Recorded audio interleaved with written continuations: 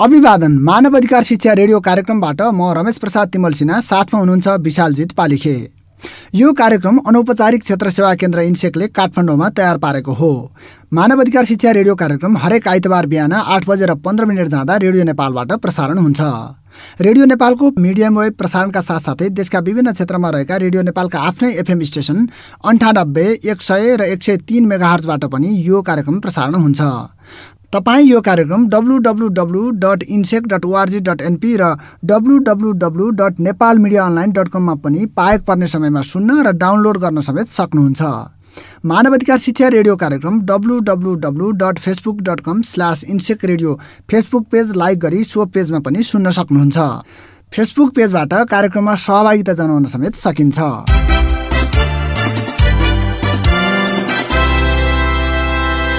विगत केही दशकमा नेपालबाट वैदेशिक रोजगारीका लागि प्रवासी कामदारहरू बाहिरिने क्रम बढ्दो छ।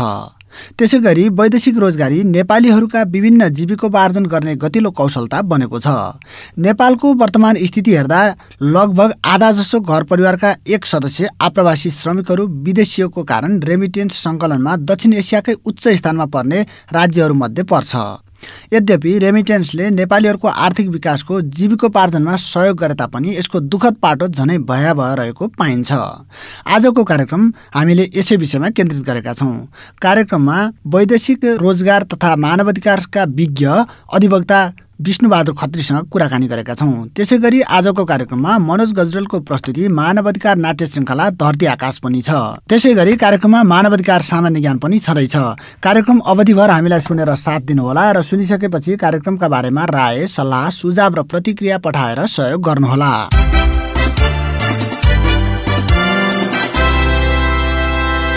कार्यक्रम सुरु गरौँ वैदेशिक रोजगार सम्बन्धी सामान्य जानकारीबाट। सरकारी तथ्याङ्क अनुसार गत आर्थिक वर्ष दुई हजार चौहत्तर पचहत्तरमा तिन लाख तेइस हजार आठ सय छयत्तरजना श्रमिकहरूलाई विदेश जानका निमित्त श्रम स्वीकृति दिइएको थियो। यसै तथ्याङ्क अनुसार प्राय नेपालीहरू विदेशमा डटी डिफिकल्टी र डेन्जरस काम गर्न बाध्य भएको उल्लेख गरिएको छ। सरकारले सिप र श्रम साथसाथ विकास गरी स्वदेशमा रोजगार प्रदान गर्ने बाहिर जानै पर्ने भए तापनि सुरक्षित व्यवस्थित मर्यादित ढङ्गबाट मात्र वैदेशिक रोजगारमा जान प्रोत्साहित गर्ने योजना बनाए पनि कार्यान्वयन भने निकै फितलो देखिन्छ। अब हामी प्रस्तुत गर्दैछौँ यसै विषयमा अधिवक्ता विष्णुबहादुर खत्रीसँग गरिएको कुराकानी। पचास लाखभन्दा बढी नेपाली युवाहरू अभिलेखीकरण भएरै वैदेशिक रोजगारमा रहेका छन्। करिब पच्चिस लाख लाख जति युवाहरू अभिलेखन नभइकन नेपालमा तथ्याङ्क नदेखिने गरी पनि वैदेशिक रोजगारमा रहेका छन्। भारतको कुरा गर्ने हो भने अलि राम्रा देशहरूमा जानेहरूका कुराहरू गर्ने हो भने यो सङ्ख्या अझै ठुलो छ। यसरी हेर्दा करिब एक करोड नेपाली युवाहरू कुनै न कुनै रूपमा वैदेशिक रोजगारीका नाममा अथवा अरू विभिन्न नाममा वैदेशिक रोजगारीमा रहेका छन्। त्यसमा पनि अझै नेपाली युवाहरू बढी मात्रामा वैदेशिक रोजगारमा जान्छन्। अरब मुलुकहरू र मलेसियाको कुरा गर्ने त्यहाँ नेपालीले काम गर्ने काम भनेको जोखिमपूर्ण कामहरू कामहरू गर्ने दुःखज्यालु कामहरू गर्ने थोरै मूल्यमा चाहिँ धेरै कामहरू गर्नुपर्ने नेपाली कामदारको त्यस्तो परिचय बनेको छ। त्यही भएर हामीले बढी सुरक्षित आप्रवासनका कुरा गरेका हौँ।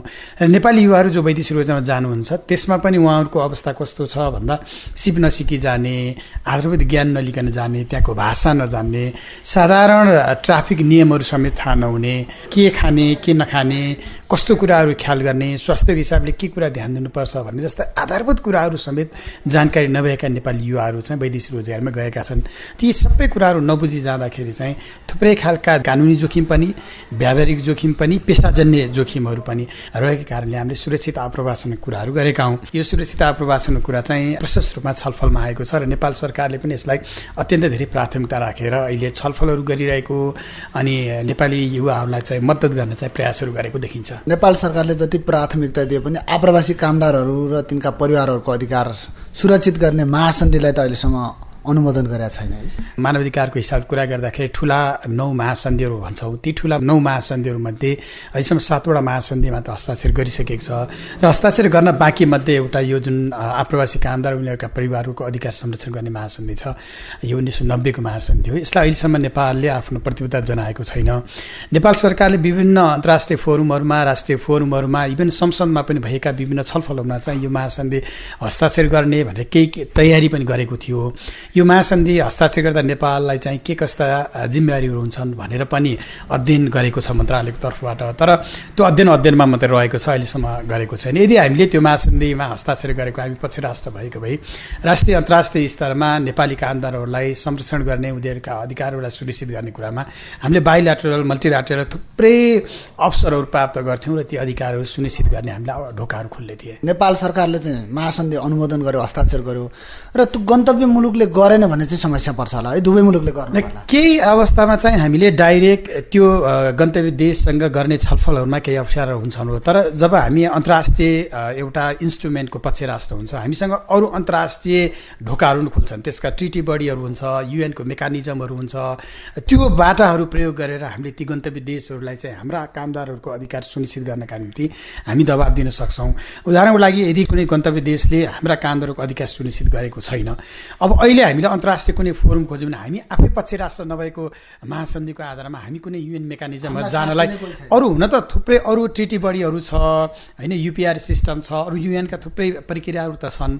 तर पनि जुन महासन्धि हो आधिकारिक महासन्धि त्यो महासन्धिको बाटोबाट हामी चाहिँ त्यो महासन्धिको ट्रिटी बडी प्रयोग गरेर हामी चाहिँ युएनहरूमा जाने कुराहरू गर्ने ठाउँहरू हुन्थे। हाम्रा तथ्य तथ्याङ्कहरूलाई हाम्रा हाम्रा केसहरूलाई त्यहाँसम्म लाने बाटाहरू खुल्थे। र त्यहाँ मार्फत युएन मार्फत हामीले गन्तव्य देशलाई पनि केही दबाबहरू दिन सक्ने कानुनी उपचारहरू खोज्ने उपायहरू हुन्थे। तर अब अहिले हामीलाई कहिले काहीँ भन्नलाई चाहिँ धेरैले के भन्छ गन्तव्य देश नगरिकन हामीले गरेर यसको काम छैन भन्ने एउटा त्यो बाहना बनाइएको छ त्यो होइन। तपाईँले आफ्नो कमिटमेन्ट गर्नुभयो भने गन्तव्य देशलाई हाम्रो कमिटमेन्ट छ तिमी पनि कमिटमेन्ट गर भनेर ती कुराहरू कहिले काहीँ बाइल्याटरल एग्रिमेन्टहरू हुन्छ होइन श्रम सम्झौताहरू हुन्छ दुई देश बिचका सन्धिहरू हुँदाखेरि चाहिँ हामी चाहिँ यो महासन्धिको पक्ष राष्ट्र हो। यो महासन्धिमा भएका यस्ता कुराहरू चाहिँ हामी दुई पक्षीय सन्धि सम्झौताहरूमा राख्न चाहन्छौँ। श्रम सम्झौता नै राख्न चाहन्छौँ। हामी चाहिँ यो बाध्यकारी हाम्रो हाम्रो पक्ष राष्ट्र भएकोले यस्तो कुराहरू चाहिँ राख्नु पर्दछ भनेर हामी दबाब दिन सक्छौँ। नेपाललाई समृद्ध मुलुक बनाउने भनेर पछिल्लो सरकार बोलिराखेको छ। त्यही अनुसार काम पनि अगाडि गरिरहेका छौँ भनिरहेको छ। यो परिस्थितिमा वैदेशिक रोजगारमा गएकाहरूलाई व्यवस्थित गर्ने कि देशमै रोजगारको खोजी गर्ने? नेपालको संविधानले के भन्छ भन्दा मानिसको राइट टु मोबिलिटी यो रोजगारीको अधिकार स्वतन्त्रताको अधिकारलाई चाहिँ मौलिक हक रूपमा राखेको छ। कुनै पनि नागरिकलाई नेपालमा बस्न बाध्य छौ तिमी कहीँ जान पाउँदैनौ भन्न चाहिँ राज्यले पनि सक्दैन हामी भन्न सक्दैनौँ। व्यक्तिलाई आफ्नो आफ्नो रोजाइहरू रोज्ने स्वतन्त्र पूर्वक घुमफिर गर्ने हिँडुल गर्ने कानुनी रूपमा एक ठाउँबाट अर्को ठाउँमा जाने अधिकार छ। यो व्यक्तिको व्यक्तिगत स्वतन्त्रता कुरा हो। तर देश बनाउनका निम्ति चाहिँ जसले देशको निम्ति धेरै श्रम गर्न सक्छ देशलाई जसले बढी योगदान गर्न सक्छ जसले धेरै देशलाई भिजन दिन सक्छ त्यस्ता जनशक्तिहरू देशमा रहनु आवश्यक छ। त्यसको लागि राज्यको तर्फबाट हामीले पनि प्रशस्त सम्भावनाहरू देखाइदिनु पर्यो। तिमी यहीँ बस्नुपर्छ भन्ने कुरा एउटा हो। तर राज्यले यहाँ बस्नका निम्ति सम्भावनाहरू देखाइदियो भने अटोमेटिक रूपमा त्यो सम्भावनाले उनीहरूलाई चाहिँ आकर्षित गर्छ। जस्तो उदाहरणको लागि अहिले वैदेशिक रोजगारमा जानका निम्ति सजिलो गरी सहजीकरण भइरहेको छ। यहीँ रोजगारी गर्नका निम्ति यही उद्यम गर्नका निम्ति त्यो सहजीकरण छैन। यहाँ वैदेशिक रोजगार प्रवर्धन बोर्ड छ। त यहाँ उद्यमशीलता प्रवर्धन गर्ने बोर्ड छैन। यहाँ रोजगारी प्रवर्धन गर्ने बोर्ड छैन। त्यसो भएको हुनाले चाहिँ नेपाली युवाहरूले घर छेउमै भएको सम्भावनालाई देखिरहेको छैनन्।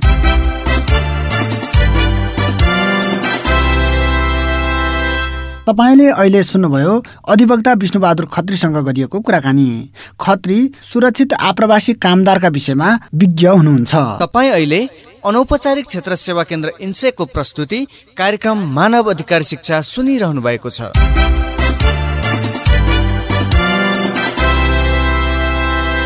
अब हामी प्रस्तुत गर्दैछौ मानवाधिकार नाट्य श्रृङ्खला धरती आकाश। धरती हाम्रो घर।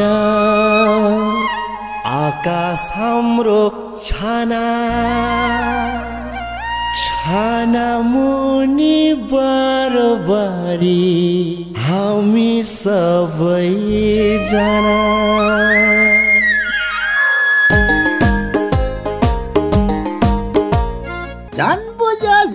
कठिन बुझ्यो बुझ्न कठिन। होइन यो आकृतिको दिमाग के भएको है मिरज बाबु? के भयो दाजी? होइन अनि विदेश पो जान्छु भन्थे त गइ कि क्या हो खोइ अहिलेसम्म आएकी छैन। विदेश जाने भन्थे रे? अनि साँच्चै खुस्क्यो क्या हो त्यसको? त्यही त झन् बुझ्यो झन् कठिन।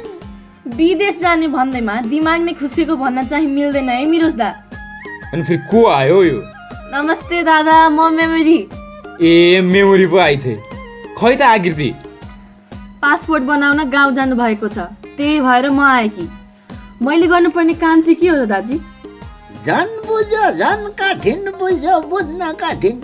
अब तिमीले गर्ने काम भनेको चाहिँ हेरी त्यही आकृतिलाई रोक्नु पर्यो विदेश जानबाट। अहिलेका युवाहरूलाई विदेश जान कसले रोक्न सक्छ?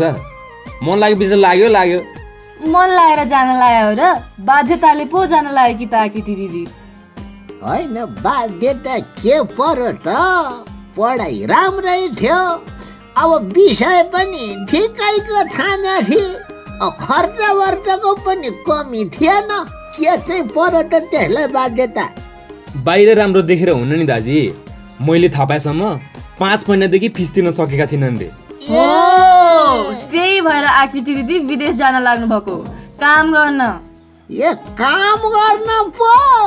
अरे मेरो देशको शिक्षा मेरो देशको युवा मेरो देशको सरकार के गर्ने हो? पढाइ छोडेर विदेश जान बाध्य छ।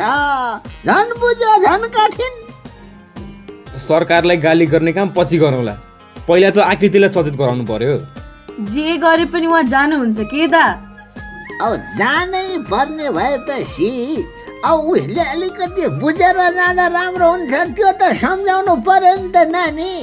उसले गर्नुपर्ने काम उसको कर्तव्य उसको अधिकारको बारेमा त थाहा दिनु पर्यो गर नत्र फेरि वैदेशिक रोजगारीमा जाँदा पनि झन् बुझ्यो कठिन। उहाँ काम गर्दा पनि झन् बुझ्यो झन् कठिन। कामदारको के अधिकार के कर्तव्य। दुखीलाई जहाँ पनि दुःख।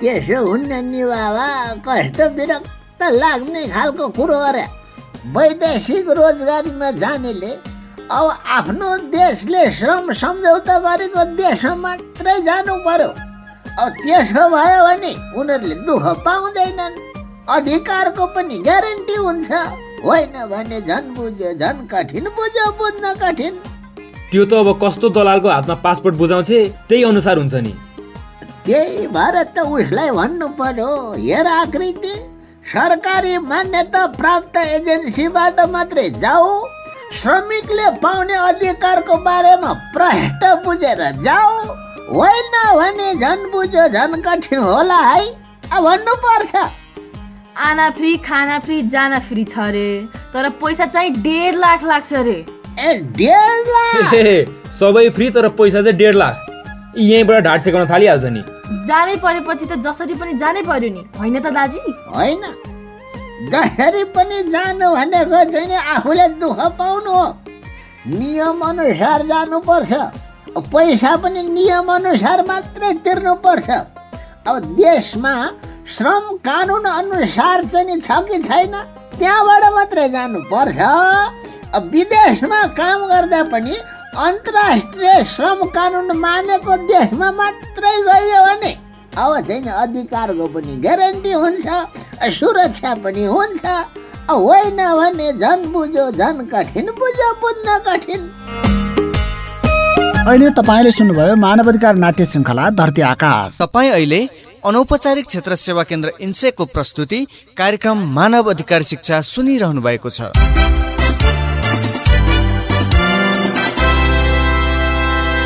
अब हामी प्रस्तुत गर्दैछौँ मानव अधिकार सामान्य ज्ञान। उपभोक्ताको संरक्षणका लागि विद्यमान कानुनी व्यवस्था के छ? प्रश्न फेरि एकपटक उपभोक्ताको संरक्षणका लागि विद्यमान कानुनी व्यवस्था के छ? यो प्रश्नको सही जवाफ कार्तिक महिनाको मसान्तसम्म इन्सेको ठेगानामा आइसक्नु पर्नेछ। हामीलाई पोस्ट बक्स नम्बर सत्ताइस छब्बिस Kathmandu radio dot INSEC at Gmail dot कममा पत्र पठाएर वा शून्य एक पाँच एक्काइस सतासी सत्तरीमा फोन गरेर कार्यक्रममा सहभागिता जनाउन सक्नुहुनेछ। त्यसै गरी W W dot Facebook dot com slash INSEC radio Facebook पेजमा राय सल्लाह सुझाव र प्रतिक्रिया व्यक्त गर्न सक्नुहुन्छ। सामान्य ज्ञानका विजेता प्रत्येक महिनाको पहिलो साता यसै कार्यक्रम मार्फत प्रसारण गर्नेछौँ। हवस् त यसका साथसाथै मानव अधिकार शिक्षा रेडियो कार्यक्रमबाट आगामी सातासम्मका लागि विशालजित पालेखेका साथसाथै म रमेश प्रसाद तिमल सिन्हा पनि बिदा माग्छु। तपाईँको आगामी साता शुभ रहोस्। नमस्कार।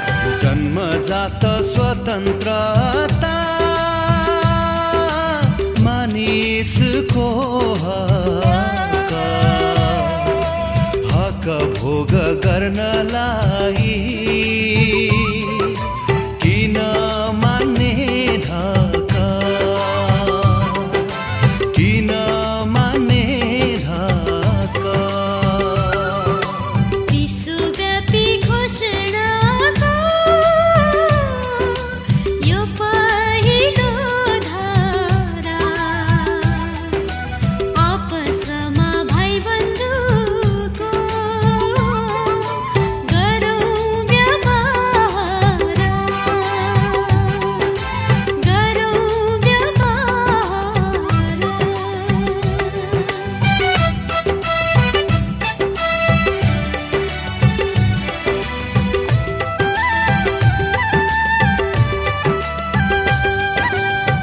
भाषा धर्म जाति वर्ण मर्यादाको डोरी समानताको हक एउटै छोरा हुन् या छोरी। कालो गोरो उच्च निच भेदभाव किन? धारा दुई भन्छ जुट अधिकार